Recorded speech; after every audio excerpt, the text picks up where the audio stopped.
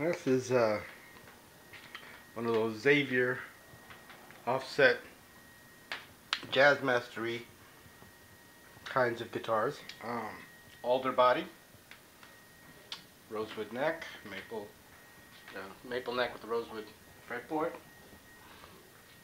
The GFS Jazzmaster style pickups.